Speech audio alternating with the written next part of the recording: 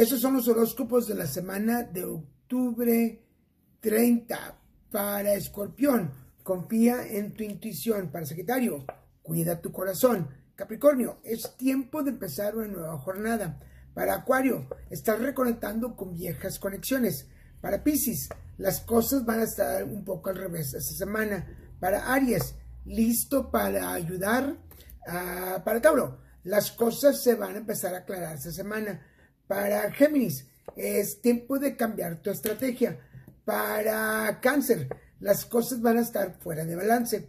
Para Leo, mantén los pies sobre la tierra.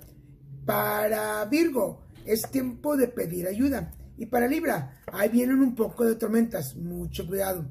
Acuérdense de seguirme, que les guste, comenten, compartan. Nos vemos la semana que entra con más horóscopos. Soy Daniel G. Garza, el divo de las cartas. Hasta luego.